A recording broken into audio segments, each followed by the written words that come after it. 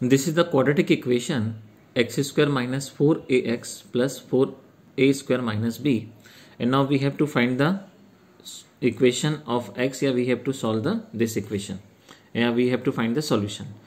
So it is very uh, easy to solve the by Sridharacharya formula and it is very difficult to apply the splitting middle term so we will apply the Sridharacharya formula सो देखिए यहाँ पर हमने Shridharacharya formula लिखा हुआ है। I hope so आपके formula clear होगा।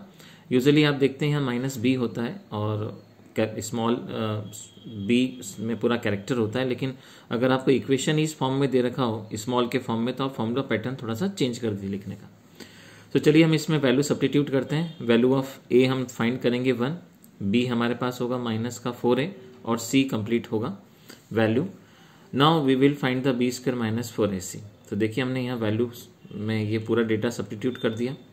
सो B के प्लेस पर माइनस का फोर है माइनस फोर फॉर्मूले का और ये complete value of c so four a minus का हो जाएगा plus sixteen a square minus four से मल्टीप्लीकेशन करने पे आपको मिलेगा minus sixteen a square plus का फोर बी स्क्वायर देखिए, दोनों टर्म कैंसिल कर दीजिए तो डिस्क्रिमिनेट आपको मिलेगा four b square now you will substitute the value in this formula इस फॉर्मूले में सब्टीट्यूट कर दीजिए।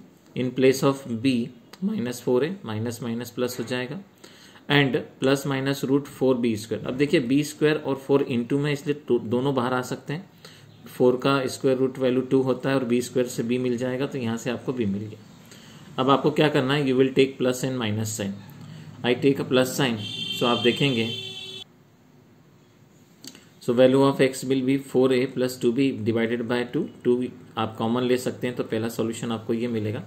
नाउ अब आप क्या करेंगे? माइनस कॉमन माइनस साइन से सॉल्व करेंगे तो देखिए इनके बीच माइनस आ जाएगा। अगेन टू कॉमन ले लीजिए। जैसे आप टू कॉमन लेंगे, यहाँ से टू कैंसिल हो जाएगा तो ये सेकंड सॉल्यूशन आ जाएगा। और इस प्रकार से इस क्वाड्रेटिक इक्वेशन का आंसर आपको टू डिफरेंट फॉर्म में मिल जाएगा।